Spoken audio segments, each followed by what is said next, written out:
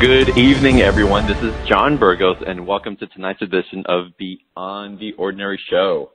And this evening, we have a dear friend um, and just an amazing facilitator whose body of work is just it's every time I have a session or, or Jill gets into her her mode with me, it's the information that comes through. It's I just feel this this purity of wisdom that's coming in with this benevolence of really wanting to propel who she works with forward. And uh, again how she accesses and, and the information that gets shared i'm going to let jill explain to you here in a second. But i'm thrilled that she's on today because there's some things that she's really tapping into that are so important for our awareness. And part of jill's approach is this no bs shoot from the hip. This is exactly how I see it and what's going on. Um, and I love that. And I love it because it's direct. It's straightforward. It's applicable. We can bring it down and ground it in and do something with it and carry it forward in its truth in a whole new enlightened way.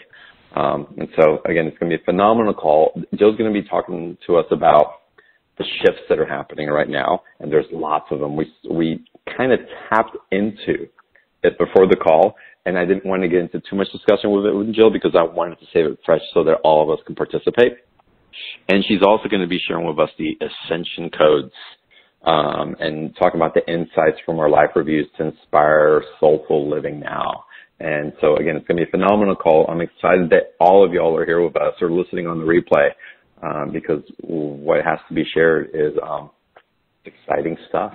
And with that, Jill, I want to welcome you back uh, to on the Ordinary. Thanks for being here. Thank you for having me. I always love our time together, and your audience is amazing. yes, our audience is amazing. Absolutely. Um, because we have a lot of people from your community showing up on these calls as well. So I want to say hi to all of y'all as well and welcome back.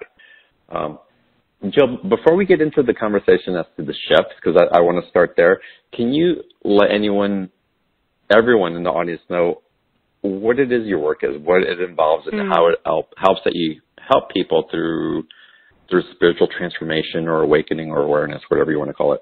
Okay.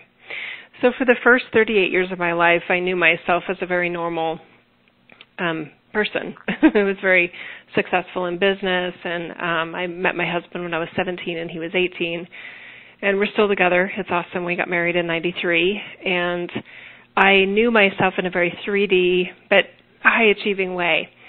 And what I now see is that I I want to say I took another assignment that wasn't destined for me, but I said yes to it where at the age of 38, 39, I accepted my spiritual gifts. And the, it allows me to come into this really, really cosmic out there wisdom that actually disagrees with a lot of the mainstream conventional teachings, even in spirituality in this reality. So I didn't come into my gifts from like trying to get them. In other words, I, I was I'm not a self-help, you know, devotee. I'm not even a spiritual devotee in terms of like New Age books and things like that.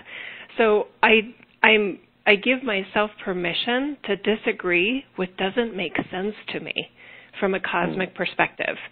So my angle is very different. Um, I like things to be very clear, very honest, and very rational and practical.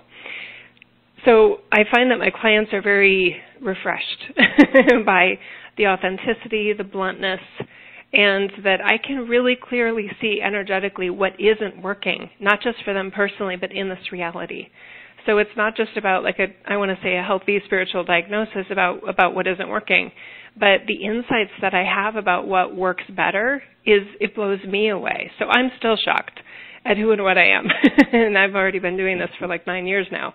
Um, I surprise myself at the answers that I get, the access that I have, and I'm also still normal in a lot of ways. Um, and a, you know now I've created this business. And I'm a business owner. I left my my uh, career, my business career, to do this work with my husband's support. I'm a mom. I'm a wife. Um, I love to travel. I love to travel with clients and have amazing experiences. But yeah, it's just uh, people notice that my work is very different, and I love the freedom and the liberation that it offers from truly outdated teachings that aren't getting us where we need to be. I shouldn't say that because it's not it's not that we need to be anywhere, but there's so much untapped potential within the human race. And I feel like I incarnated with the opportunity to help update that. And what I find is that everyone that really hears my messages, they're built the same way. They built themselves that way in this reality. So this vibe that we naturally have with each other feels like an orchestrated dance. Oh, I love that. And I love about the potentiality because, you know, you just mentioned to me you just got back from Disneyland and it's like going to Disneyland and stopping at the teacups because it's so much fun. And, but you still have Magic Mountain to get to, right? It's like, why would you to get to Magic Mountain? Um, mm. and so it's, it's and that's how we get to play in human form in different ways. And if there's um, yeah. a path that gets opened through awareness and through enlightenment, uh, that's what you help provide. And you channel information as well. And I'm not sure if a lot of people yeah. are, are, familiar with that. Uh, who do you mm. channel in? Uh, where do you receive mm. some of mm. this information from? Mm-hmm. So when I when I first started out, I my first connection that I felt was with Mother Mary um, I I don't know if I could begin to describe how I knew that that's who it was. I just knew. Um, and then she connected me. She fabulous introduction that she gave me to Jesus, which many people prefer the term Yeshua. I'm okay with with the word Jesus, but later on, then I realized that my team, what I call my team, which is the connection that I am and the in the all that is, and then I'm a human manifestation that I call Jill, right? That that team is actually and I encourage everybody to look at your higher self this way. It's anything I need it to be based on what I'm choosing to be as my human. So mm. the channeling part to me isn't me connecting with a dimension that's separate from me and my higher self. It is my higher self. And that's a very fluid, dynamic, limitless vibration. And some of that is like named personalities that we know from this reality. Some of the dimensional ranges that I access, they don't have names. They've never been here before.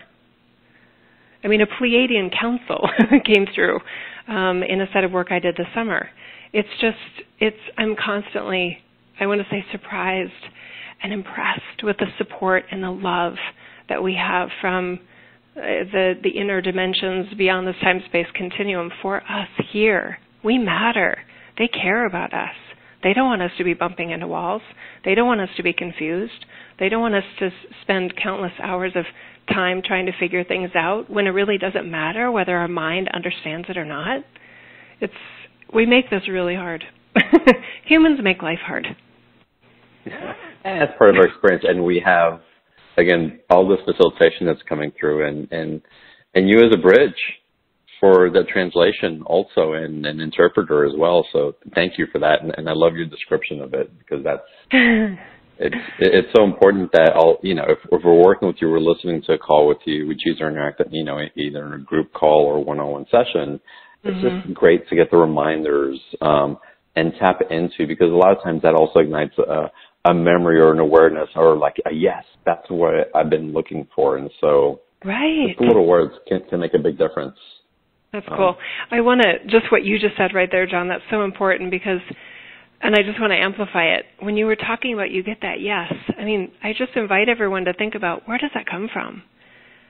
The fact that you have some some sort of radar, some sort of metric that you're looking for in teachings and truth, etc. You're you're a sounding you're a sounding board within yourself, within your all that is energy. So when you get a yes or a no or I'm not sure, you're comparing it against something. And I would mm-hmm. offer that what you're comparing it to is is a soulful um, vibration that you that you have access to in this reality. So it's not just an empty cup that that you're trying to fill up. It's a it's a chamber of truth that you're living in your life. Mm. Oh, I love that. The chamber of truth that we're living in our life, yeah. and we all have that. that I have goosebumps. That, that I have, wow goosebumps all over me. Oh, I love it. Mm-hmm. All right, guys. So access your chamber of truth, and we're going to be talking here. Um, Jill, let's get into the shifts that you've been feeling happening. What is what mm. is up in your awareness around all this different energy that's been popping up? Yeah, and you know sometimes I hesitate to talk about like popular culture, but it is sometimes a nice parallel for what's going on on a galactic level. Uh, some don't follow the news, and I, I appreciate that that's an approach that works best for some people, and I honor that. Um, there's a major Hollywood icon that is being taken down by a, a, a surfacing of scandal related to sexual um, impropriety with actresses um, in Hollywood. It's Harvey Weinstein. And when this happened, I felt a crack. I felt a crack in the fabric of falseness in this world, in this 3D, 4D, 5D reality. It's like exposure in a positive way, exposure for truth, bringing things into the light, bringing things to be surfaced and processed. And for, it's almost like awareness of unconscious victimization. So when that happened with the Harvey Weinstein and then now recently he was fired, I don't know why I follow this stuff or why it shows up on my radar. It's not like I'm looking for it, but when it popped up, it felt big. It felt really, really big. So when that happened, and then today, as I'm just kind of feeling into, as it was playing in the background, my energy field, I was seeing, and it actually was fun because it came up in the private session today, that there is a lot of shifting of roles on a galactic level. And it is showing up in this reality as well.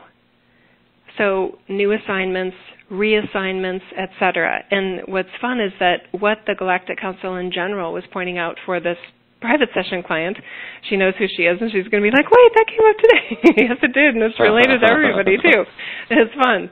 Um, but there's some for some people they're going to feel a bit of a void because they're not yet certain of how they fit into this shifting construct. But I would encourage everyone if you're in that sense of void, it's not passive. I really encourage you to reflect on what do you what shifts do you want to happen in your life? be an active participant in where these next chapters of your human journey are going so that you can feel more leadership and more authorship in your life.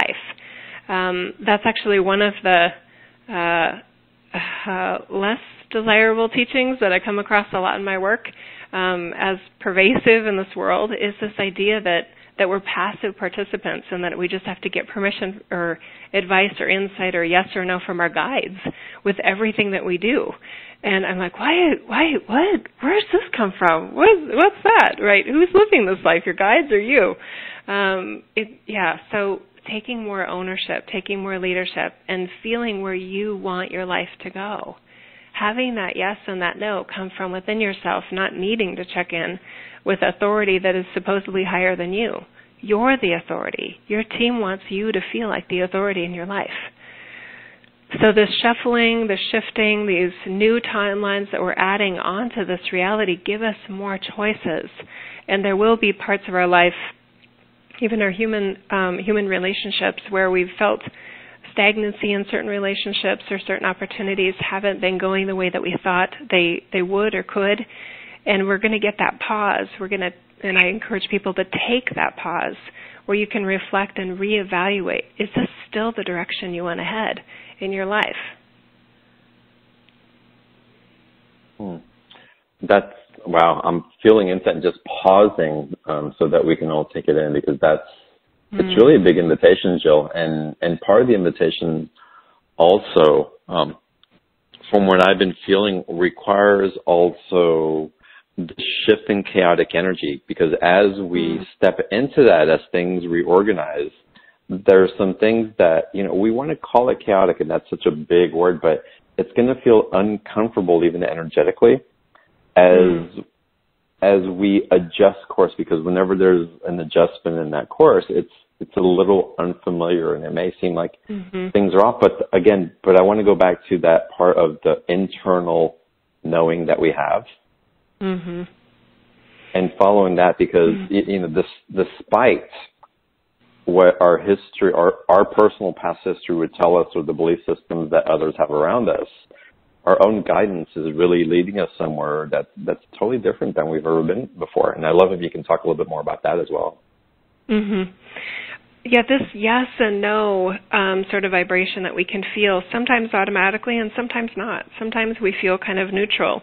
And what's interesting is that some people feel like they're missing a yes or a no by the neutrality that they may feel. Mm. And I love to remind people that with my team and my interaction and my in my humanness as Jill, if I were to ask my team, like where should I go on my next family vacation with my family, there would be silence because they're asking me what I want to do for my next mm-hmm. family vacation with my family. Um, so sometimes we we have an expectation that isn't um, accurate for how this divine energy actually works. And more importantly, John, how much leadership we're being encouraged to take on in our human lives. We uh, hmm, let's see. Let me take my time on this one. This feels important. My team is like, slow down. This is big. okay. So with with these shifts, with with these kind of galactic council level reassignments, and and these are reassignments that we've signed up for, by the way. It literally is us as our higher self signing up for new experiences, volunteering for things, um, even initiating new new programs, new projects, new I want to say experiments, but I don't mean it in a negative way.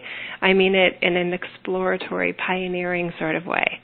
We're constantly sort of jiggering with this system, and we each have a human in this in this experience that we can, I want to say, play that out through. So it's a wonderful assignment that we each have by being human right now. We we made these human experiences, each of us did our own, for changing the nature of reality here.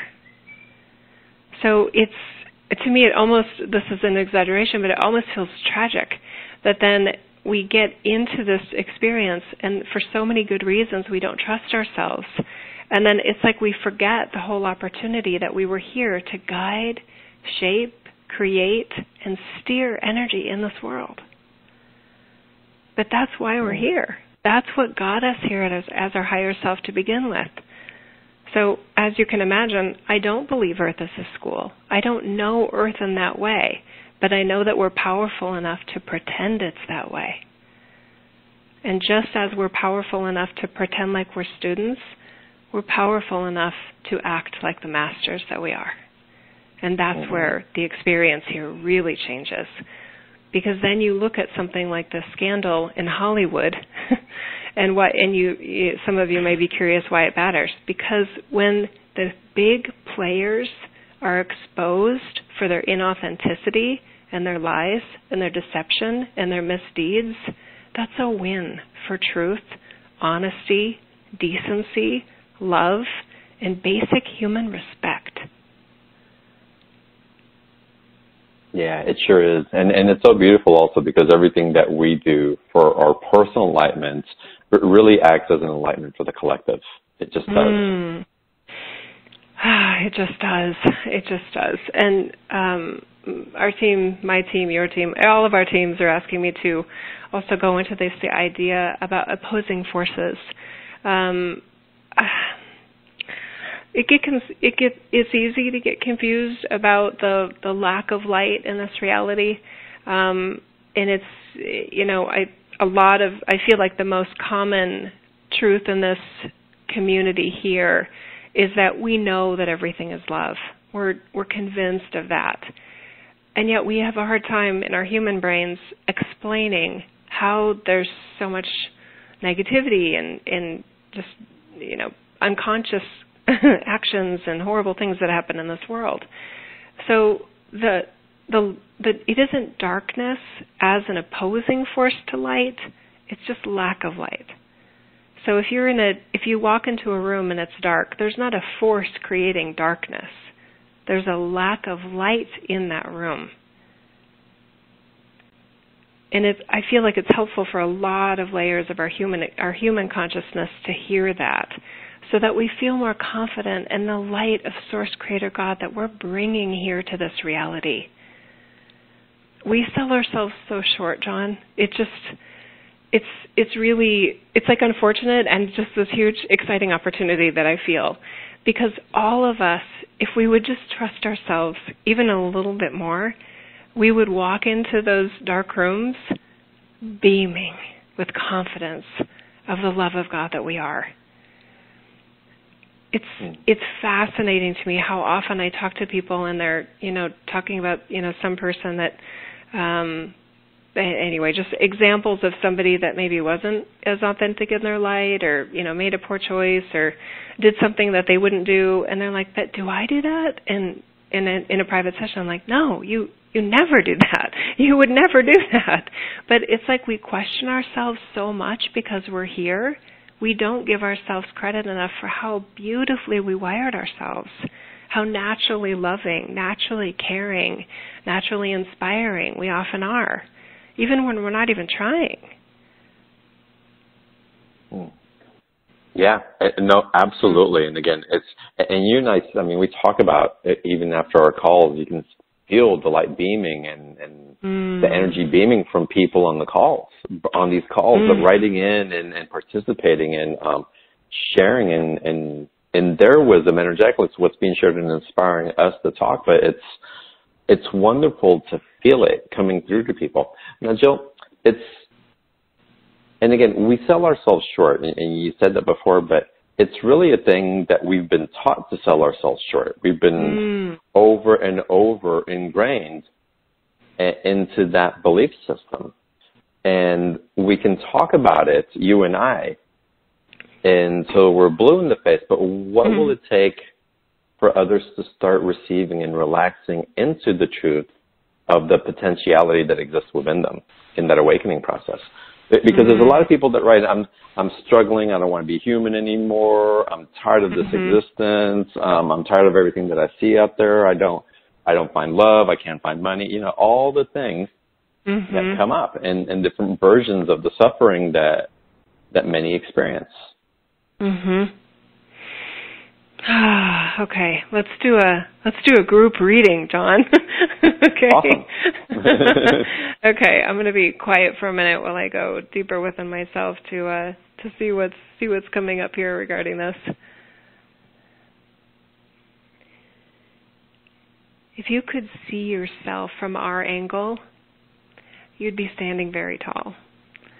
You'd be feeling very confident you would see the love that you are in this reality, and you would see more clearly how special, how unique, how powerful that is in this world. So it isn't about denying any uncomfortable or unpleasant experiences that you've had in this world, but it's helping you see how different you are from this world. So yes, you are you are fully human and you brought with you very special technology and special energy that allows you to feel and be and express the love of source creator god that is very unnatural and not nor- not the norm within the human race we share this with you so that you can own your special nature own your true divinity it's okay that others in this reality can't see you. This reality is very fragmented and highly unconscious. So asking that to see you is asking too much. A better approach is for you to see you. You to trust your pure intentions, your good intentions for people you've never ever even met. You want good things for everybody. You see that? Yeah, we see you and it is powerful. And you've already changed lives, even without possibly intending to do so, just by your being you. How fabulous is that? That you, in your natural, organic way of being you, have changed people's lives. So, of course, it makes us wonder what it could be like if you were even more aware of the pioneering nature you are in your humanness, regardless of who sees you or who doesn't see you, regardless of how many allow you to assist them in changing their lives, in upgrading their potential in this world. So let's help you focus on your light.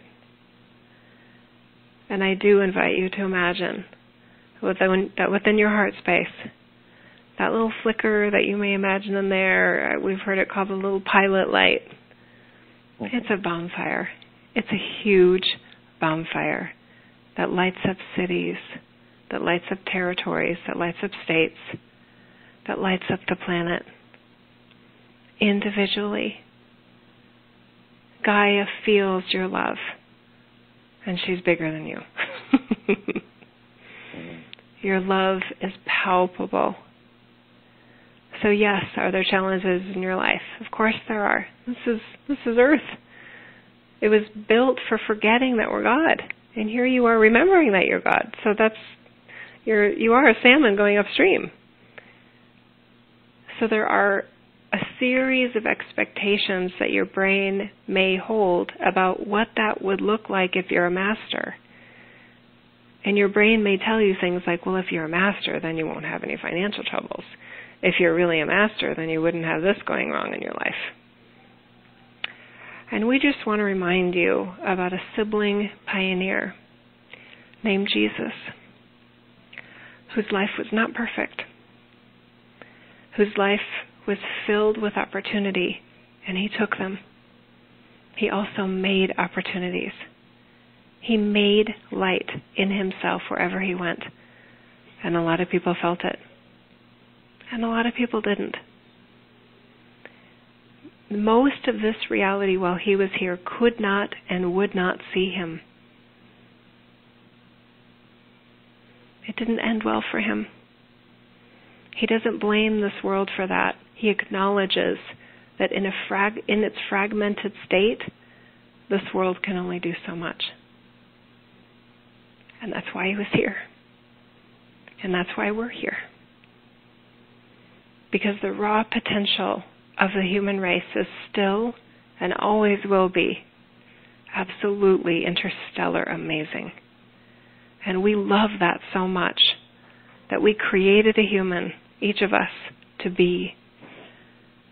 To be loving, to be caring, to be compassionate, and to watch out for your fellow humans that are like toddlers running with scissors.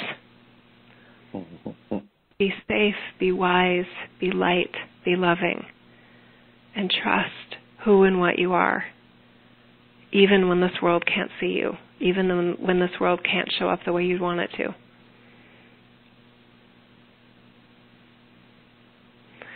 We trust you.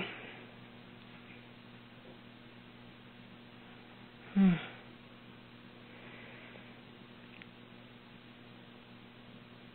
Oh, John. Oh, beautiful.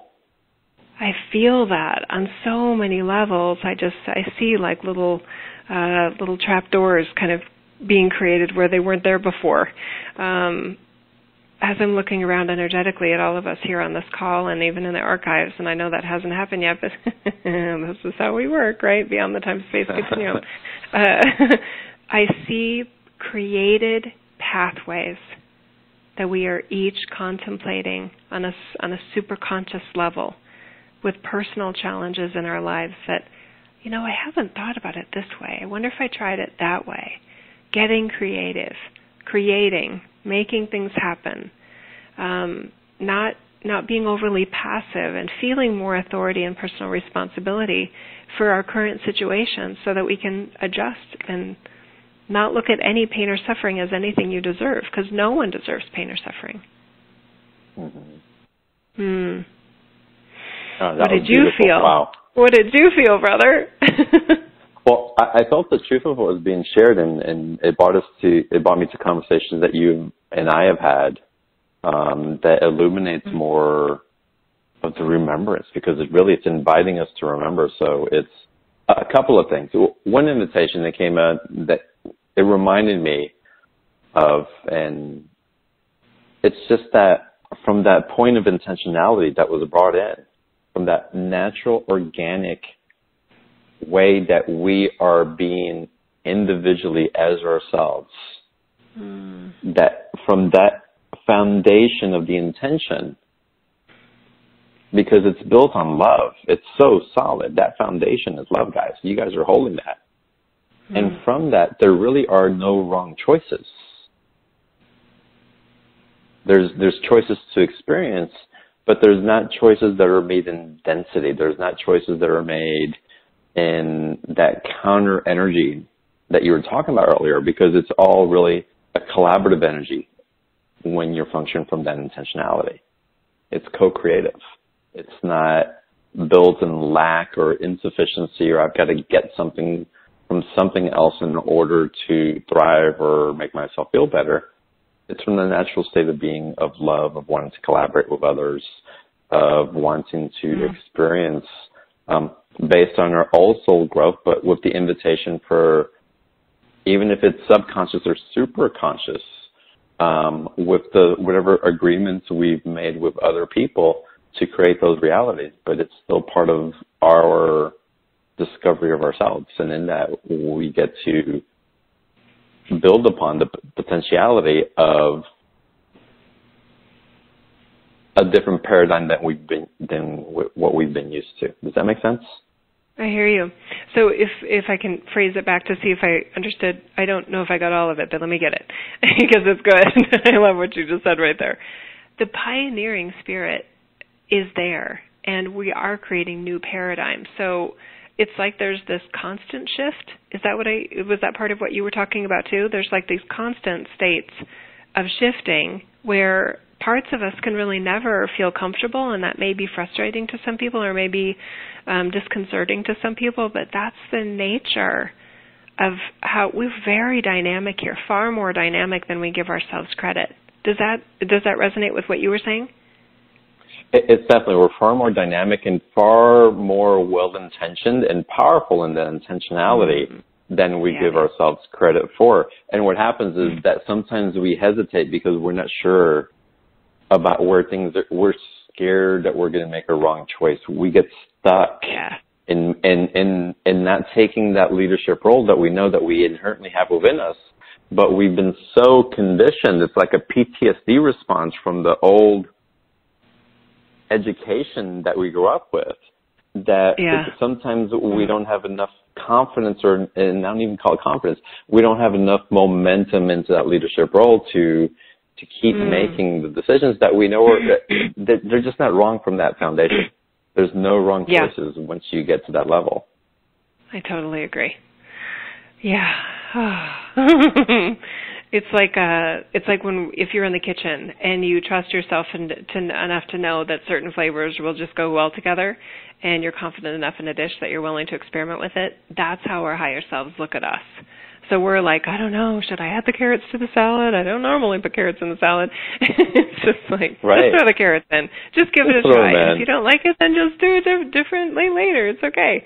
Um yeah that i don't want to say paranoia because it's not I don't feel like it's a paranoid state, but that that hesitation, that insecurity, that lack of confidence. In other words, the fear of getting it wrong.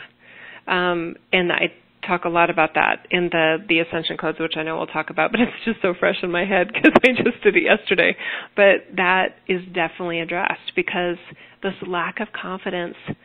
Um, what it's doing, John, is that the biggest I want to say regret that we often have at our life review after our journeys are over is that we wish we would have been bolder. We wish we would have trusted ourselves more. So whenever that comes through in my work, I find that the the person that's receiving it is like, okay, yeah, that makes sense because they see where they're holding themselves back. They see where they wish they could have the confidence. They wish they could even have permission. Some of us really wish it was just like school, like, you know, can I get the hall pass to go, you know, to, to visit right. another classroom or go to the library? We just wish there was some authority to hand us the permission card to say, yeah, you can go do that. But that's not Earth, and that's not what we're here for. There isn't a set plan. There isn't but like you said, the the good side, the upside is we can't get it wrong. Mm-hmm. And when you when you live like you can't get it wrong, things get fun.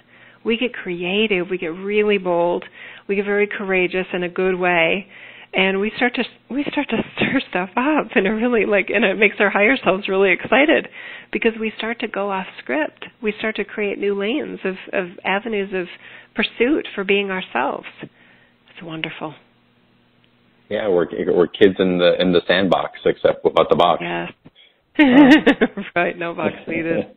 Endless no sand. Needed. Endless sand and constant creation, which is wonderful. Now, Jill, why do you find that most people hold back? That that nature of hesitancy. There's a lot of reasons. Um, obviously, a basic one is fear of failure. They don't want to disappoint themselves, and they don't want to disappoint others. I think in a group like this, it's more common that we're concerned about disappointing others or letting others down or misleading mm-hmm. others. That's a big one. Um, a lot of us are more okay with letting ourselves down, but we're not okay with letting other people down. Isn't that interesting, right? right? That's quite a code of ethics if you think about it. Um, another one is is the fear of getting it wrong. Um, a huge one that's really prevalent is um, fear that they're not ready. So they know what the bold step is that they want to make, but they're not convinced that they're ready yet. And this is my favorite one because I the I have a really strong human brain, um, and I love to create patterns of harmony with my human brain as I've as I've done such a major transformation in my life. So I get that I get it that brain pattern of well how you know who do you think you are? You know you're not ready for this. What are you doing? Right? And I'm like no I know brain I know you see that we're not ready but I really think I was born with this option of doing this so I'm just going to go do it. And I get that you're terrified, and I get that you you're worried about public humiliation or public failure, but I have to do this. I'm more afraid of not doing it than I am of doing it. So I get that you have questions, brain. I get that you have concerns, brain, but here we go. And I've learned to work that way with my brain. And I'm so happy I did, John, because if I didn't, I wouldn't have been able to meet so many amazing people in in a community like this. I mean, I would still be this wow, it's just hard to even recall what I was like 8 years ago. And I like that Jill, but I really like my Jill now. yeah, it's like there's a deeper connection to that Jill and to yeah. that creative expression that that's that's been wanting relationship with you. So letting letting that that big bold image of you be your motivation and not waiting for your brain to say okay now you're ready because i can guarantee you the human brain will never say you're ready for that big bold move. It never will.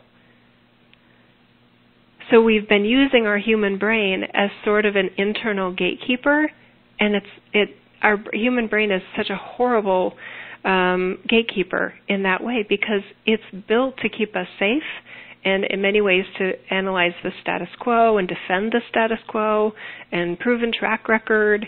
It's got a rearview mirror kind of thing. So it's not the best visionary, but our soulfulness is. And it gets tiring and exhausting. So when you were mentioning earlier about some people just saying, you know what, I'm I can I just be done? This is too hard. I I don't know. I feel like the game is rigged. It's not even fair, right? Um, there's a part of your soulfulness that knows that you pre-wired yourself in a whole bunch of ways to be very savvy, maybe even sneaky and tricky to counteract the rigged nature of this reality. So we're like ninjas. But we don't see ourselves as ninjas because our human brains are constantly trying to kind of pull us back and put the brakes on. So when we can get more confident in trying something new in a construct where we control some of the variables to help minimize risk if that's our if that's our nature, that's fine, right? Do do something to get the ball rolling though. And what I find is that the excitement tends to build and then the human brain realizes that it can't stop you and it's not going to stop you and then the growth really accelerates but do you know how many people are on this call tonight that really would love to provide a healing service or do intuitive readings. They think they're intuitive but they're not quite sure. And there's so mm-hmm. many people just right on that edge of a huge bold move. Right. I agree. And now, you know you... all i want to it's like go for it. Just do it. I did practice readings for 10 months just because i wanted to really like is this really something i can do? Okay that was good. Okay yeah. And honing my skill figuring it out. Um there's i mean but my brain would have said, "You can't do that." And I'm like, "I know. Let's just practice. Let's just practice for ten months on anyone that'll let us do a reading." Right. Yeah. Oh, I love that. Yeah, I love how that came up. And also, and what I feel in Party Energy, and I think it's important to bring up also, is that mm. a, I know a lot of people also try to make it their main source of income from the very beginning, and oh. it's and and and that can that that's the brain convoluting it, and when you mix the energies with that, I've got to support myself doing this in this way, um, it, it doesn't come across as facilitated as as it might can. I'm not saying that it's across the board for everybody, mm-hmm. Um, mm-hmm. but I I find when I run the shows of if whenever I've tried to bring a speaker on just because they might be a financial boom, and by the way, it's only happened twice in the very beginning. It was a, it was a horrible failure. Um, mm-hmm. Um, in so many ways, I didn't resonate with the mm-hmm. call. The audience didn't reply, didn't respond well. Um, it just felt okay and, and I felt empty inside. It's like, no, that's not really the direction. And I was shown early on. And, and so we don't repeat that. So we really have to look at our intentionality and why we're doing things. What's the purpose in it? What's it filling within us other than a need based on primary biological responses, if you will? Right. That's, you know, this brings up a funny, funny conversation. I'm curious about your response to it.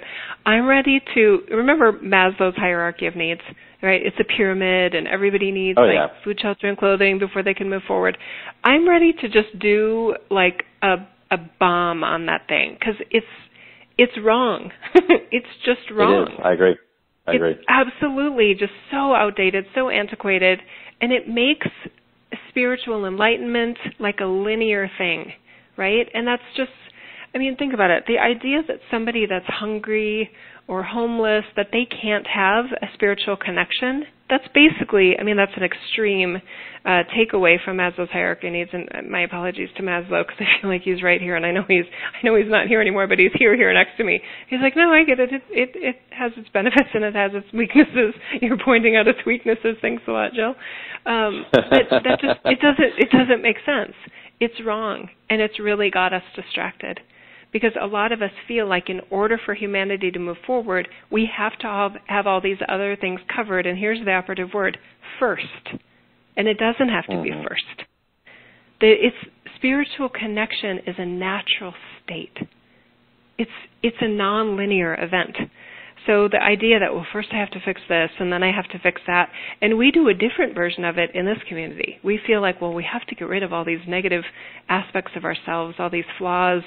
Um, you know, we have to clear incessantly before we can really feel the light of God within ourselves. And I'm just like, we really make it so hard because if we it's not a stack of books stacked on top of each other where the light the light version of you is on the bottom and all these other kind of quirky versions of ourselves are on the top. It's flip the books on its side.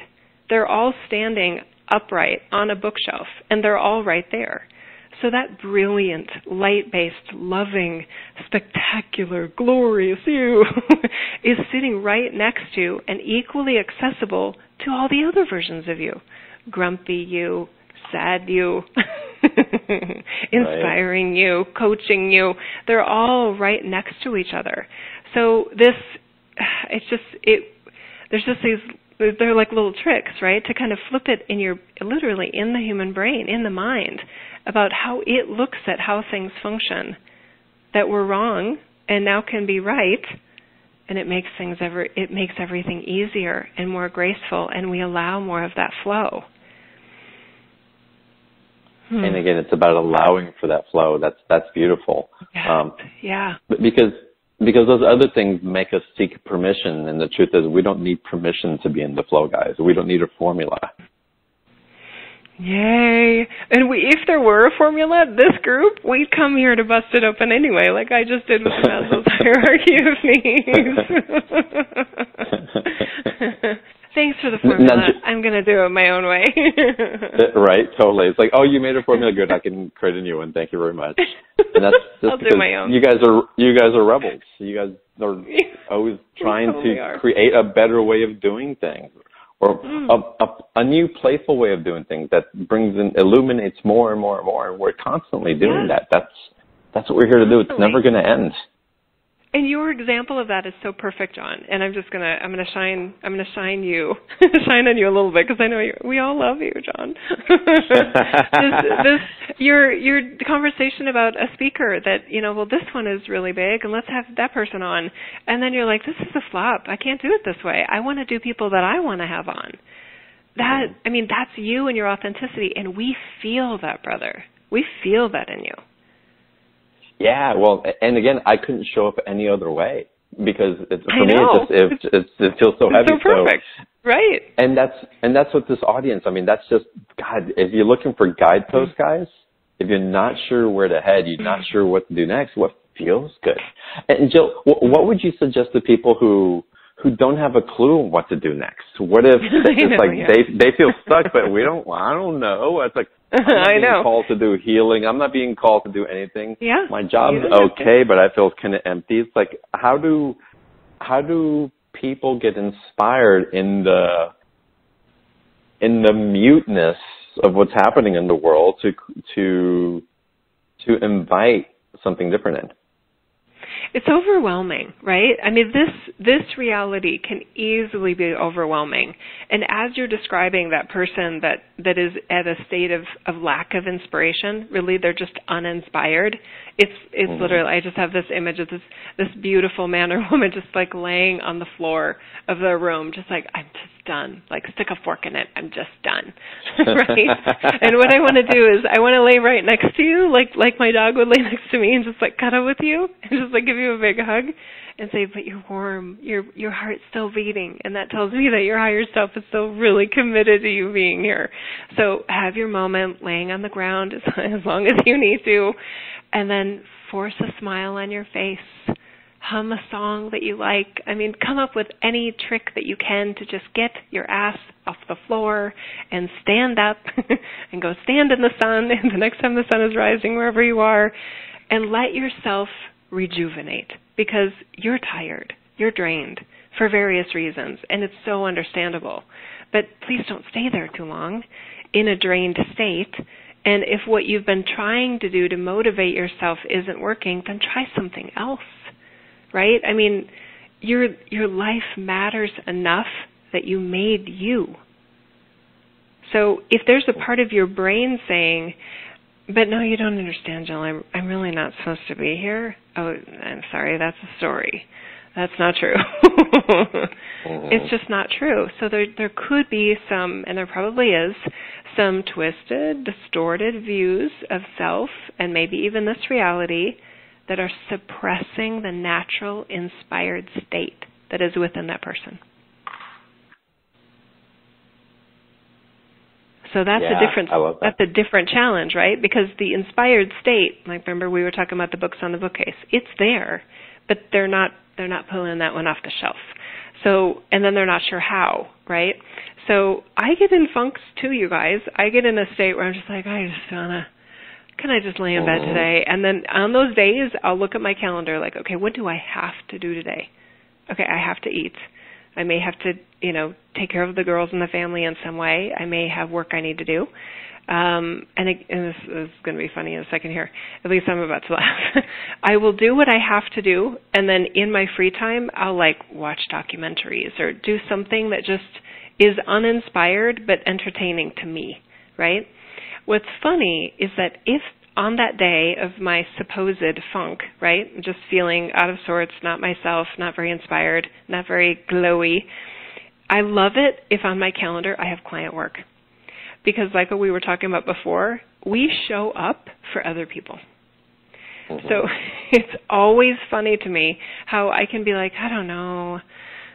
If in in those rare times that I have those days, if I have client work, I'm back to that book. I'm back to that book of my expanded self, here to help them, here to be my best self on behalf of somebody else. But it's funny how if that's not on my calendar, I'll just I'll just stay laying on the floor. right. That, so yeah, that's interesting. It's it's proof that that that divine you expression of yourself is available and that it just for whatever reason you need a circumstance to pull it out of you. you need a reason to pull it out of you in that moment. And some people that are more isolated in their lives, they could be more likely to stay in that funk longer. Yeah, I agree. Yeah, I agree. Yeah. So you know, something as mm-hmm. as as easy as going out and walking in the sun or the rain. Enjoy the yeah. rain also. It's just mm-hmm. as beautiful. It can mm-hmm. inspire you as well. And just whatever spark that gives you, if you go to the coffee shop and you a gleam in your eye can mm-hmm. spark someone else, and it's just that chemistry just it starts adding up. But yeah. I find that when those funks come up, even if we try to do something a little bit different, like you said, no matter what it Mm-hmm. is, it awakens up um, yeah. a, a potential, awakens up a, an opportunity uh, yeah. that wants to spark something within your heart and your enthusiasm. And then I feel like there's a deeper layer to this, right? Where it's not just like a superficial funk of just like a, a ebb in your energy flow in like a you know a five month window, and you just have a little ebb, a little a little dip. Systemically, in the human experience, a group like this is can be frustrated by untapped potential. It's like we feel like we're sitting on a gold mine and we don't know how to get it. Yeah. And we've tried all these different things. We're told we have to work on this and work on that. Like I said, remember that book, that stack of books, and the the gold is at the bottom, and there's all this other heavy rock between you and it. So flip that, flip those books, people. the gold mine is not at the center of the earth. It's not underneath a lot of crusty layers. It's right there, ready for you to mine, and to tap into, and to be inspired from, and be inspired by you know you have moments where you sparkle and shine. They've always been available to you. But in our in our human consciousness, we make it harder than we need it to be.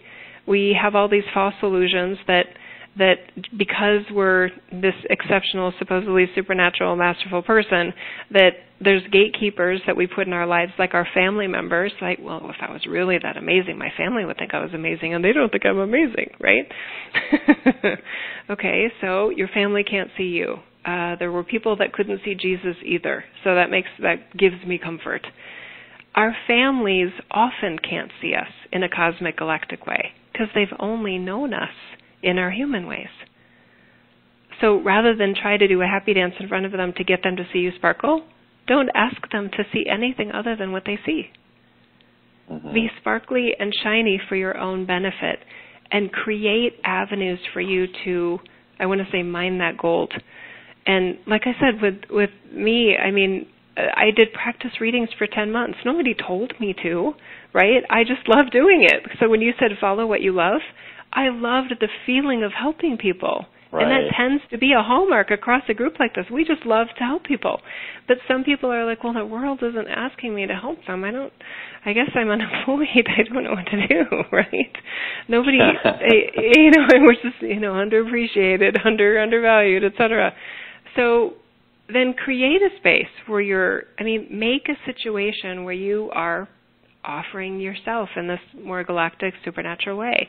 With social media, with tech the way it is right now, that should be easier, but still we're still good at talking ourselves out of taking any steps. So when you were mentioning earlier about somebody that says, I don't know where to start, my response is, I don't know where you should start either. What do you want to try first? Mm. It changes the energy because the brain is the natural problem solver. So the brain asks trick questions like what should we do? With an implication that there's one thing and if you get it wrong you're screwed right? Right. No. So when when we change it to what do you want to try first? With a smile on your face and even fake excitement it changes your energy into a creative imaginative visionary mode. But then your brain will still let if you let your brain talk you out of it i guarantee you it will. I guarantee your brain will say well that was a good idea last night but back to reality we're never doing well, that. and this this actually takes me back to the beginning of the call, Jill, and, and it's and it's so important. Also, it's the call for leadership. Also, and now, again, we are we have been we're how can I put this in, in the in the way that it will um, not limit it? There's an opportunity for us to take full license in our creation. So we've been so used to receiving answers from outside of ourselves that we keep mm. looking for answers and asking outside.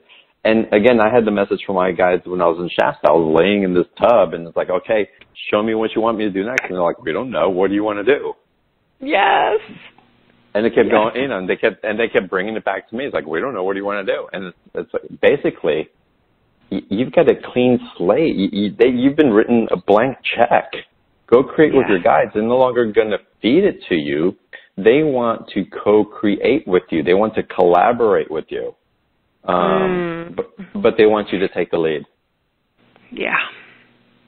Because it's time. That's right. Oh, so well said. Yes, yes, yes. And I love I love the theme that that you are bringing up about the authority and, you know, all of that. Um I'm just looking because I know I wrote something on this a while back. Let me just look and see if this is relevant. Yeah, look at that. And while you do that, Jill, I, I want to remind everyone, yep. guys, we're, we're going to get to the special offer in a second. Um, just to let you know, but there's an opportunity, there's an amazing course that Jill's going to share, and there's also an opportunity to work with, with Jill one-on-one in private sessions. So you guys may want to take advantage of that. And again, we'll go through that in a second. Uh, and we're going to talk about ascension codes, Jill, which we have to. Um, but what, do you, what did you find in authority? Did it pull up? Uh, it's not what I was thinking of, but I feel like I got here for a reason. Are you okay if I just read it? Absolutely. Okay. What would you do if you were going about your life and through a not so dramatic series of events you unlocked a pathway to additional dimensions? Knowing things you couldn't possibly know. Understand things you had never even thought to ask. Having a profound and compelling view of this world and cosmology, divinity, and God that even pastors, priests, historians, wise beings do not have. This is my life. I took a leap of faith, you guys. I stopped reading right there. I took a leap of faith in myself and in this world. It did take a profound amount of trust, not in me, in God. if you don't trust yourself, then at least trust Source Creator. That you will have a net to catch you no matter what you do. And I encourage you to relax your ideas about what that's going to look like. Because you may be pleasantly surprised or you may be discouraged. But either way, you will have leaped and changed the definition of who and what you are in this reality. Because again, remember what we talked about with that life review. The most common response at the life review is, I wish I would have been bolder. I wish I would have remembered that I cannot fail. Especially with all this amazing love based wiring. And I was the one who was worried about moving forward and all these all these other people that don't have good intentions, they just willy nilly going out trying new things and I was the one that was hesitant to try new things. How how confusing is that, right? you are trustworthy. You really are. It, it's almost like it matters less what you do, but do something that's that's scary and terrifying to you about stepping out of your lane. Cre- it creates new boundaries for yourself. Whomever you are looking for to authorize you or certify you, Hmm. That's a logical approach to take in this world, but it's a less successful approach to take in this world.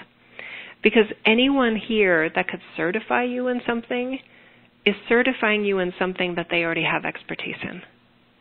Mm-hmm. And that gold mine that you're sitting on is something that has never been here before. So your brain wants to get certified. Your brain wants approval. Your brain wants a guarantee. But in your living this unprecedented pioneering version of light, there are no guarantees. So let's be honest with ourselves about that. there are no guarantees of success. There's no guarantees of making a living at some of these things. But there's a guarantee that you will have lived more boldly, relying more fully on the light of source that you are. And I know from my experience that feels amazing. From that very first reading I did, I felt lit up in ways that I didn't know I had lights lights to light up. And I had been I had already had so many, you know, good successes in business and so forth, but I was like this is different. This is so different. I I feel more alive. I feel like like that was terrifying, but like I just I just did a reading for somebody. What the heck? I didn't even know I could do that, right? so I mean, these are just silly little examples, but but I I want to like help uncover all those little barriers of well, I can't do because of this, I can't do because of that, I can't do it because of this, because our brains are just really good at coming up with roadblocks. Absolutely, mm. and, and your your little examples are actually big. Um, because they're all things that we hold within ourselves. Absolutely, it's, it's so relatable, and they're they're mountains until we mm-hmm. try to move them, and then we realize that they weren't as big as we had ever anticipated. Um, but the thing is, it's walking up to it and going, okay, I'm going to do something different. So, no, this makes so much sense. Um, Jill, let's get into uh, ascension codes and the special offer because that's, I, I want to make sure that people have the opportunity to go into um, this awareness that you're sharing through your work and also for anybody who's interested in going deeper and um, being facilitated by you. Again, the opportunity for the private okay. session is on the special offer as well. So everybody on the line, yeah. uh, everybody that's listening, click on the special offer button on the webcast page. Uh, you can also get to this page by going to beyondtheordinaryshow.com forward slash Jill and the number 14, Jill 14, take you to that same page. And Jill, before we get into ascension codes, I want, I actually want to read, a, it's one of my favorite quotes in the world, and it, and it, it talks exactly about what you say, and it's so poetic. It's, so it's from Terence McKenna, if you know who that is. And he says, nature loves courage. You make the commitment and nature will respond to that commitment by removing impossible obstacles. Hmm. Dream the impossible dream and the world will not grind will not grind you under it will lift you up. And this is the trick. This is where all these teachers and philosophers who really counted who really touched the alchemical gold this is what they understood. This is the shamanic dance in the waterfall. This is how magic is done by hurling yourself into the abyss and discovering it's a featherbed. Brilliant right? Isn't that amazing? I love that quote, and and so, so inspirational, and it's so true. Yes. It's so from my true. experience. Yes, it's a great description. Yeah, from my experience as well. I love it. I want that to be everyone here's experience, right? Mm, absolutely. Yeah, yeah. All right, Jill. Mm. Ascension mm. codes, and that's okay. It's, Ascension it's part codes. of the awareness that takes us there. Yes. So um, ascension is a very valuable topic and it's one of those areas that's that's highly misinformed. Um, there are ascension pathways available to each of us personally, and we cover that in like the very first recording. I think the very first five minutes actually. So it's it's it's bold and strange but so real that we can cover what ascension is and help you do it in five minutes and for various reasons in this reality, it's something that people try and study and um, work hard at for like their whole lives, right? So, what I think is so refreshing about the time that we're in right now is that we have the level of expertise and mastery that makes things easy, simple, graceful. Does that make sense? It makes a lot of sense. Oh yeah. okay. So so that's the benefit of stepping into these these pioneering timelines because the stuff that we used to kind of bang around like oh yeah this is hard this is hard this is hard and then all of a sudden somebody comes along and it's like no this is easy and everybody else is like oh okay why were we making it so hard and then and then we just all move forward right so we all benefit from moving forward in a personal ascension process we all benefit from that. So we cover that right out of the gate. And then we start to get into this really fascinating, very esoteric, very coded, um, mysterious area of the afterlife. And I didn't know why we we were going into that as human Jill. I was like, why are we doing this again? And then as Thoth, the Egyptian, right? He was our ambassador for a lot of uh, much of the series, talking about the real afterlife, and he actually admitted, John, in the series where they got it wrong, where in the Egyptian timeline they were they were misinformed, and it was so refreshing, and he was oh, so wow. vulnerable and so honest. Um, and it was I, I I don't know if I can explain it, but I just I feel this warmth in my heart of him kind of pulling back his veil in terms of of what he thought he knew then, but what he now sees, and his love for us to share those I want to say secrets with us. Okay? Wow. Yeah, I know. So I'm like, the afterlife. This is not going to be a popular. This is not going to be a popular special offer at all. Who wants to talk about that? And he's like, This is oh, cool. No, this this is cool. This is good. And I'm like, okay. And now that because I've recorded all of it, um, and it's all available now. So when you purchase, you get all eight recordings right there. Plus, I I put some links to some other supportive information for those that are newer to my work. Um, but so Thoth comes through in a very powerful way about the afterlife and what it really is, and um, I want to say awareness. Uh, and some of it was hard to get through, so I'm treating you like the masters that you are. We don't sugarcoat things, okay? So it's not as scary as your fear-based energies maybe maybe wondering about. But some of it is discouraging, John. It really is but no more discouraging than what we have to face here in terms of this mm-hmm. world not rolling out the red carpet for us. So it's refreshing to be treated as a mature master, emotionally balanced, like we can handle the truth now kind of thing, because the lies, they're not getting us anywhere. The mistruths right. and the misinformation about, no, everything's fine, everything's going to be great, the whole earth is going to ascend and I mean, about five years ago, I was like, but it's not, right? And my team was like, no, it's not. You're right. I'm like, then why are there all these people talking about how we're just on the verge of that breakthrough and everybody's going to wake up? And they're like, because they want it to be true, Jill. And I said, but it's that's not what this place was made for. And they're like nodding their heads, like, I know. I'm like, well, who's going to tell them the mm-hmm. truth? And of course, they all just look at me. I'm like, yay, I'm going to be really popular telling people the truth about this reality.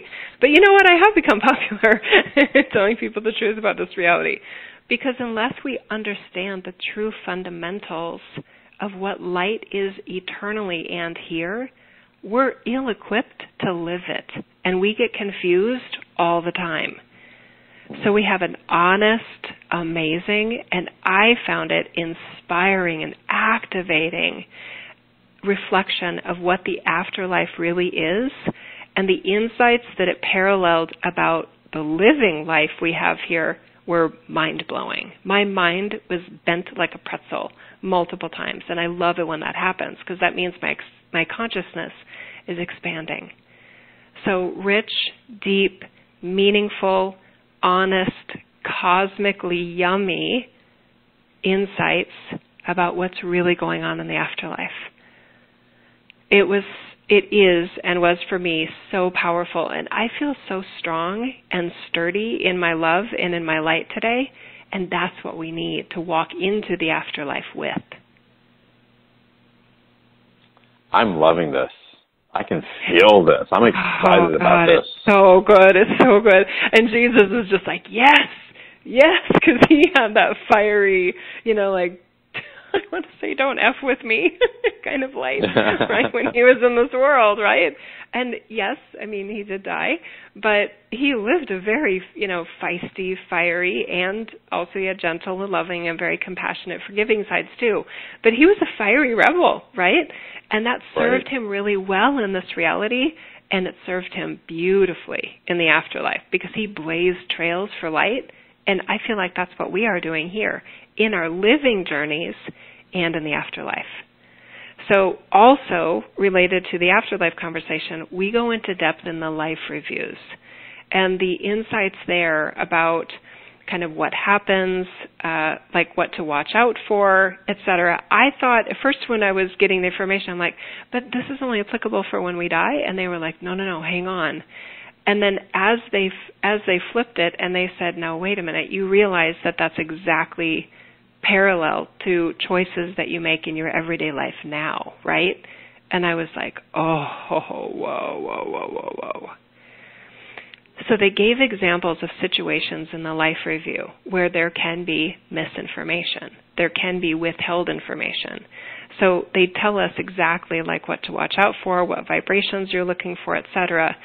And then I immediately started to see the applicability, the application to the living life right now.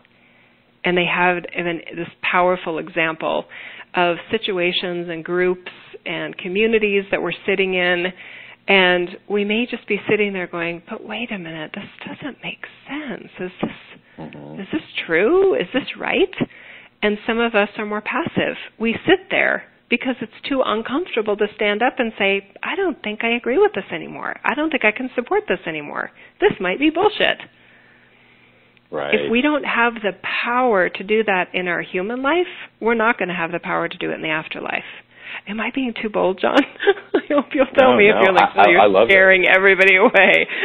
no, it's, I'm, I'm waiting for so the book to come out also. it's so good. this is amazing. So. I'm loving this. Oh my god, I love it. So Uh, then also, but Jill, oh, go ahead. Yeah, yeah. I was going to say, yeah. of course it makes sense. It's it's all a fractal of the hologram, and so of course Yes. if it's if it's happening here, it's happening there. It's all part of Yes. the experience. As if above, so below. I know. Yeah, yeah, yeah. It's so true. I didn't even think about that application, but it's so real, and it kind of tricked me into getting there in a fun way. Um, but the the powerful insights, the relevance. Oh my gosh, it it really does set your light, the light of God that we are. It sets it up in a structure that's real and enduring, not just for our living life, for the afterlife, and for the full reunion that we can experience with our higher self energy. John, not when we're waiting to die, right now. Mm. So we Wow. there's there I know. It's just I was just blown away. I'm still blown away.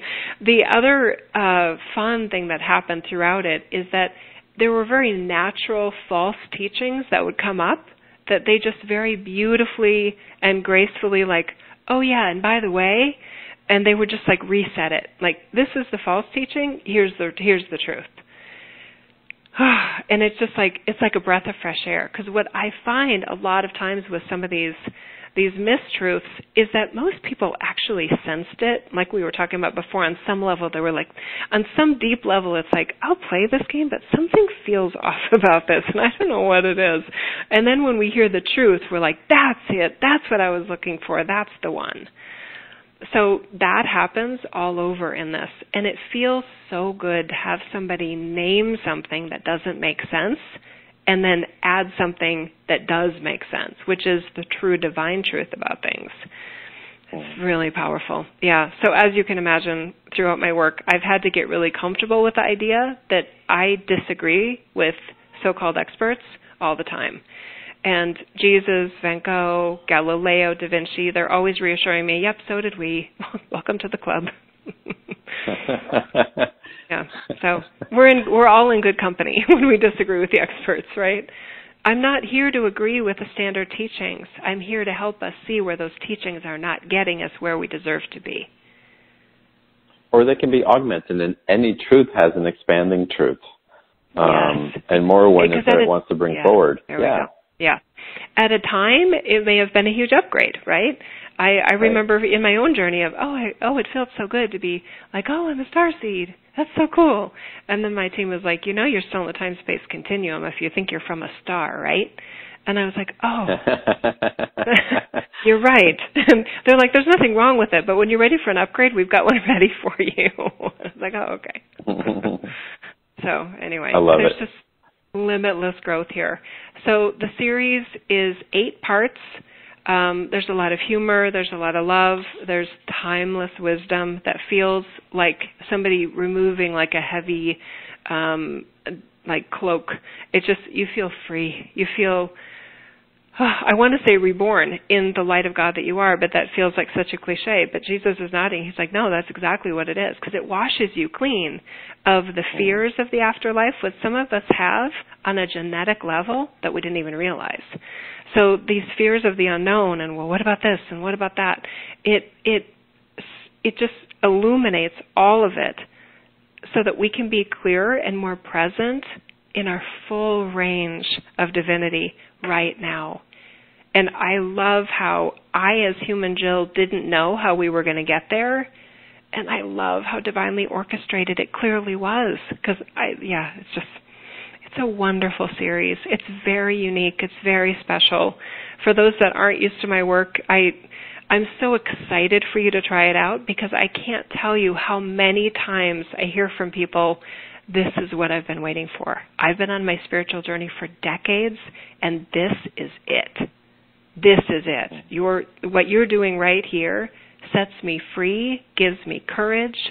I see all the time on Facebook people, you know, okay, I started this service or I'm doing this and I'm doing that and I'm right there to say, oh my God, you're doing it. And they're like, Jill, your session helped me get there. And I just have goosebumps that there was something I helped them see in themselves that was always there that gave them the courage they needed to take that next step.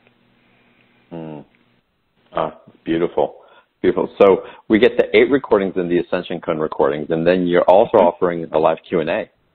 Yeah, thank you. That's a bonus. Yeah.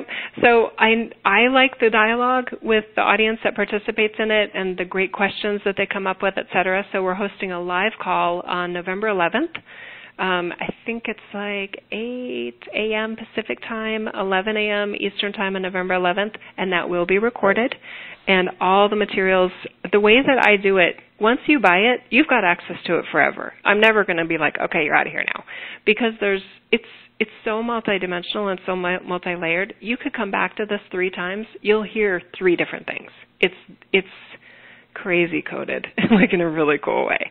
So the Q&A call will be recorded. I'm looking forward to that experience. And then I started last time I was on with you offering the private session package and I definitely wanted to do that again because there's there's nothing like a private session package where you get to hear from your te- your team in this way where your mastery is obvious and we need more of that in this reality, more experiences where your mastery is so present and so clear, and you get to hear it from someone other than yourself.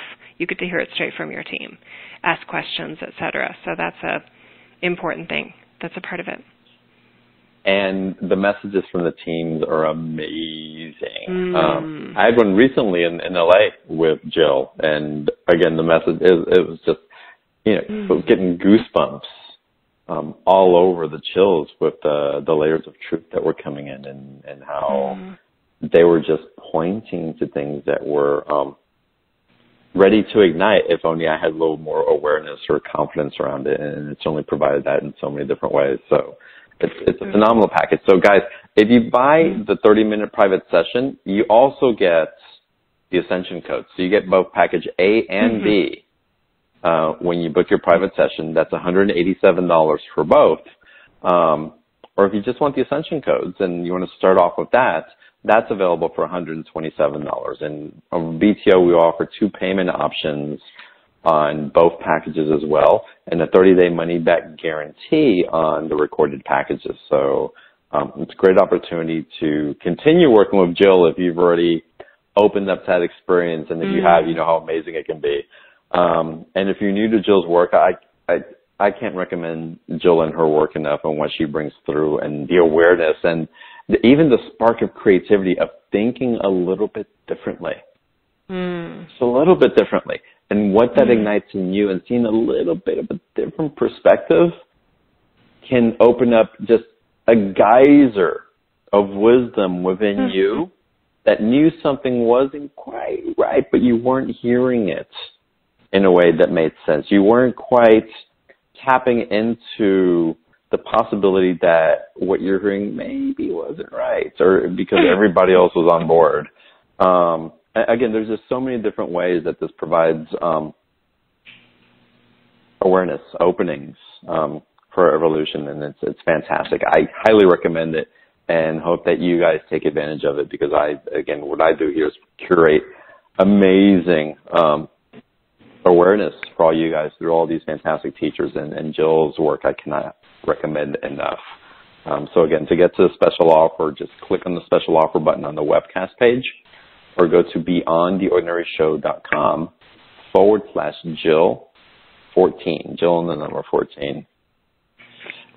Jill, why ascension codes? Why did that come up so strongly? And I know you explained it in the package, but mm-hmm. what else? There's something else in there, in the energy of that, that wants to be spoken about. What's coming up? Mm. So, similar to what we were talking about earlier about those books needing to be flipped, that they're not stacked on top of each other, they're sitting right next to each other. This group is coded for ascension. We are coded to make it easier for the light of God, the light of mm. source, to be present within our consciousness. We're wired for it. So by some of these outdated approaches of, well, first you've got to clear, and then you've got to work on that problem in your life, and you've got to fix this part of your personality because no one likes that part of you, right? There's all these really linear ways that we do it, similar to the broken Maslow's hierarchy of needs. In other words, first you need to get perfect, right? And that's not true because you're already the light of source and the all that is. You're not not that while you're here. But this reality and this human experience is perfect at making us forget and feel mm. disconnected from the light of source that we are. So, a group like this, we already have the codes. And truthfully, all life has the codes. But we have right. the codes that restore the codes within all life. And it is it's like we're built for it is what I want to say. And some of us feel this hunger.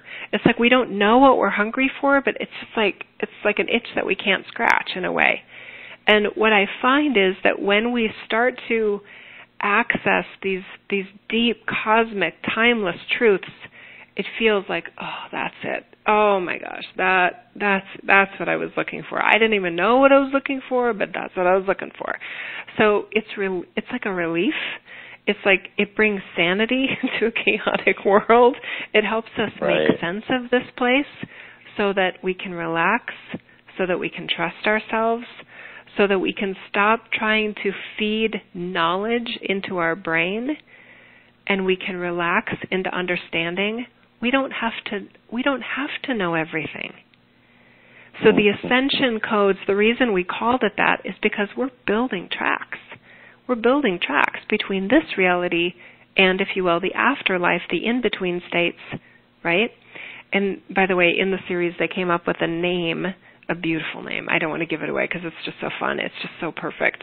Um, a name for the consciousness that you are between this reality and the, if you will, the full self, um, the all that is reality. They came up with a name for that in between state of consciousness. It's just so brilliant, um, and it really, it's just like it.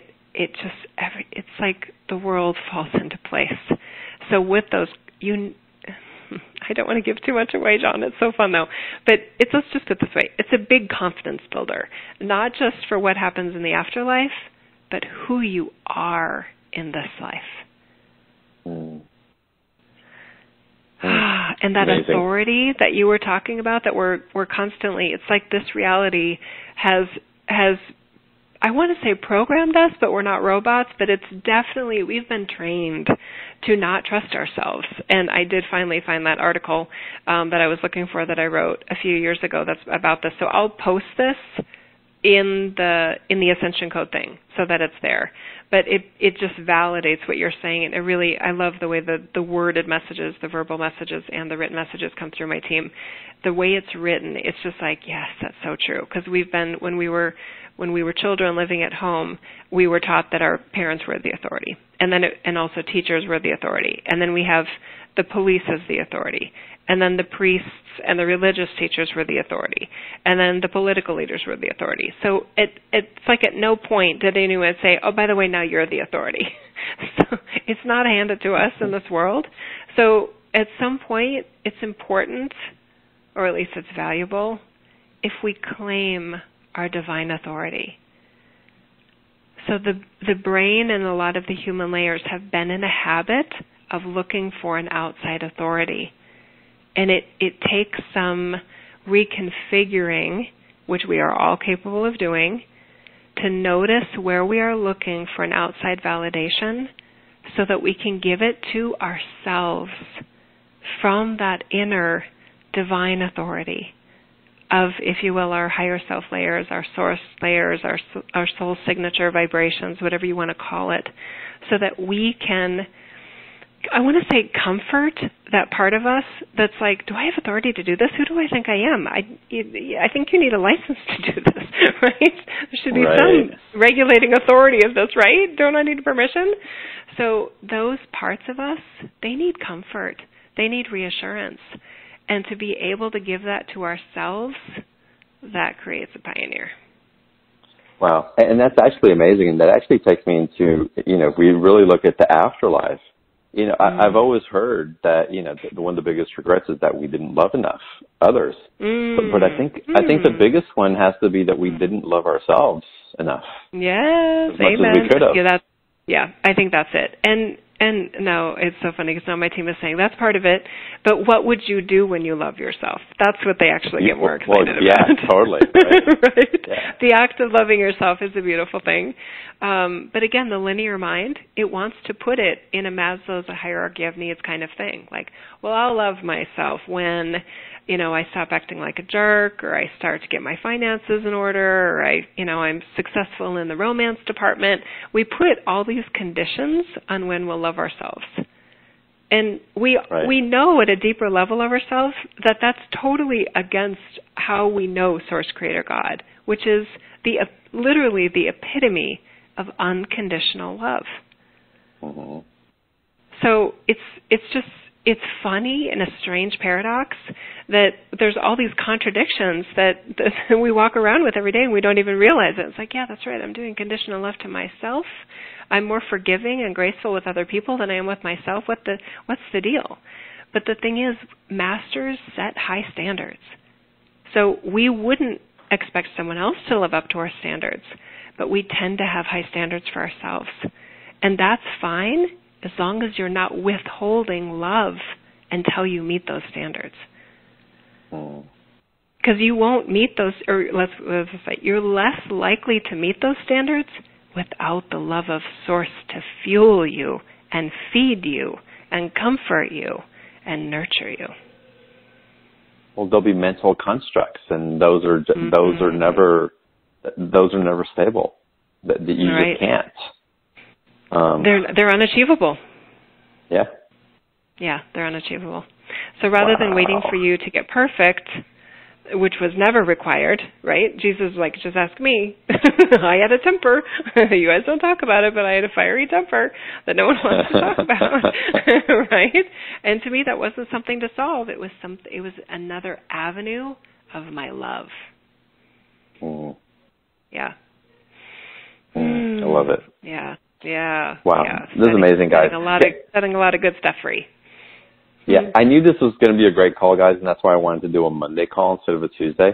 So we're actually going to run this call again tomorrow um, because there's so much to be had here. Every time we get on the phone with Jill, it's the, the energy just like it, you just again the floodgates open and it wants to go, go, go, and there's so much here um, that I wanted my wish was to have the opportunity to absorb, let the brain rest in it, the mind, the energetic field kind of be fed with the energy and then come back and listen. So tomorrow we're doing the encore of Jill of tonight's call.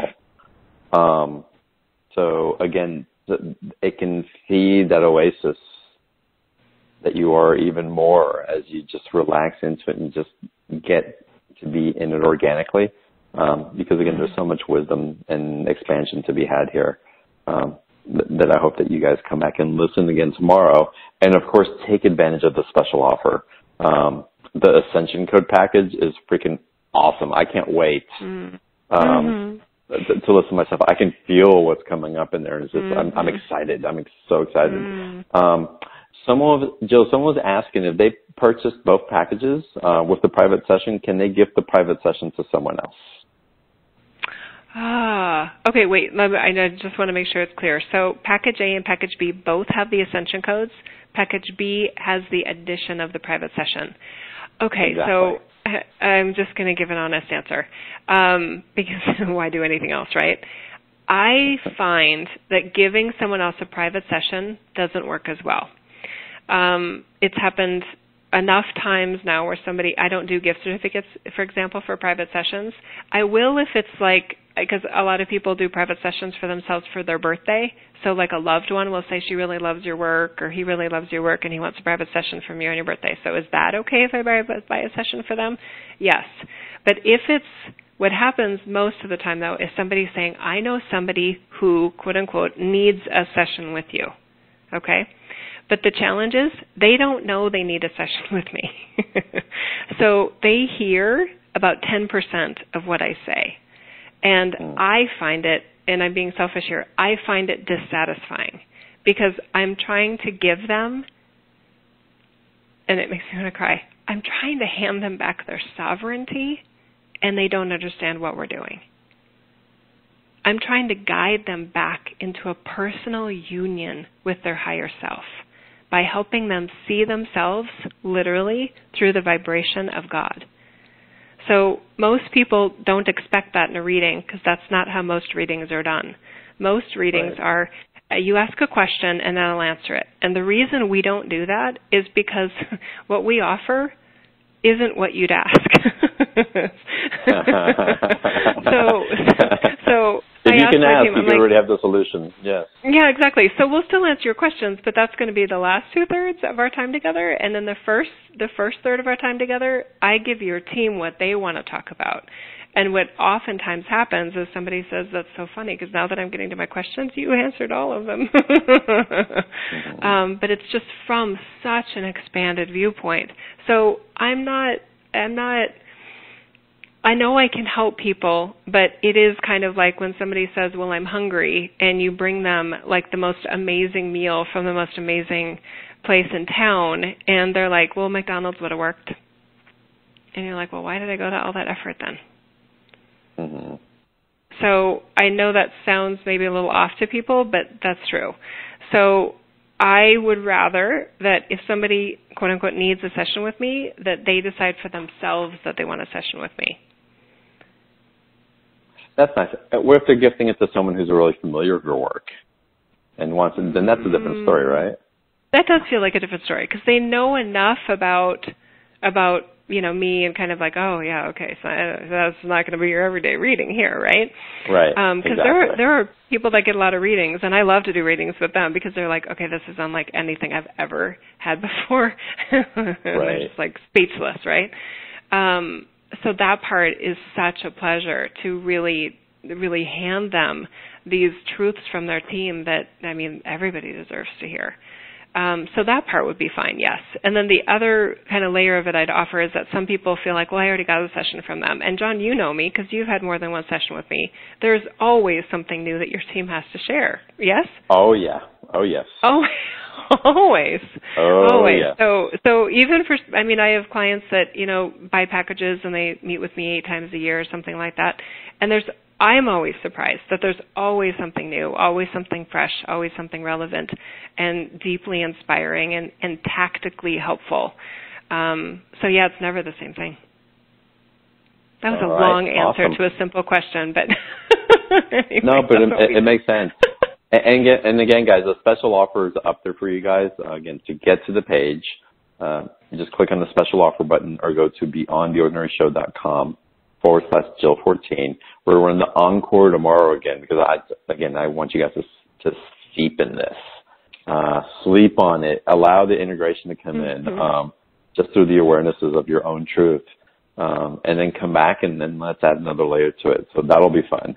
Um, mm. and Jill, before we let everybody go tonight, it's, what are you excited about?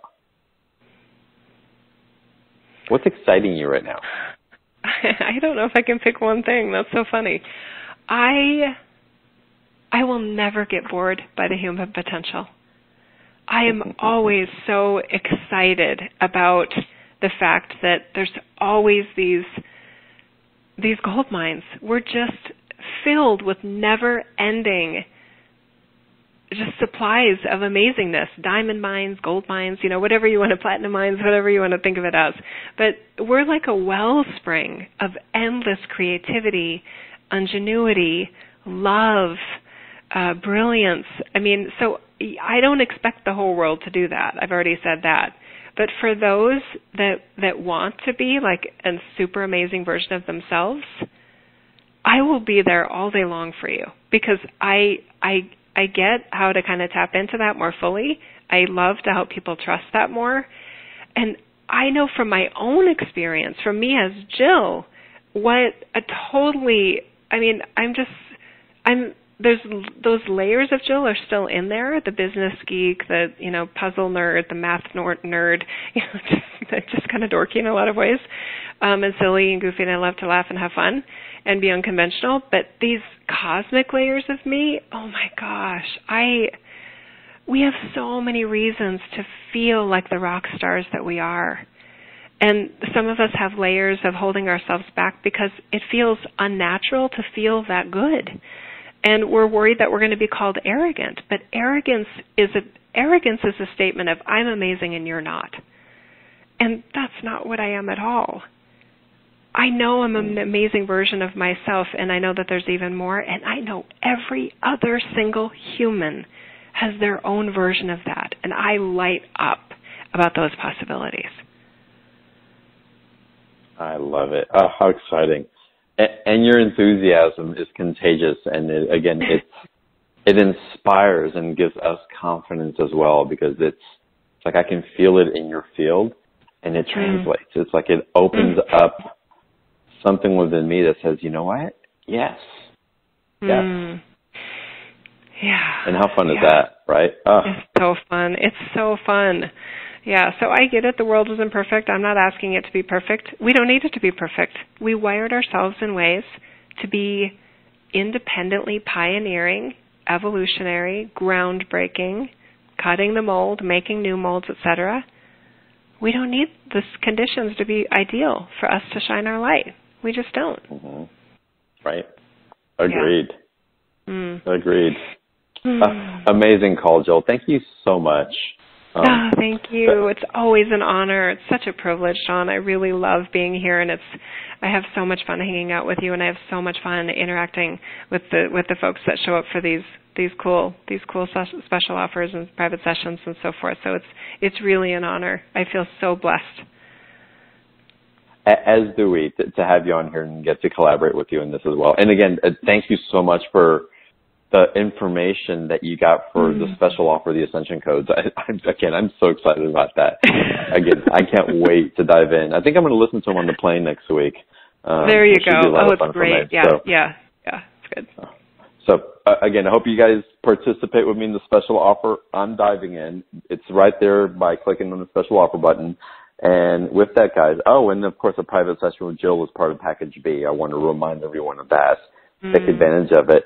And with that, guys, we're doing an encore tomorrow night. Um, so you'll be hearing us in double, if you will.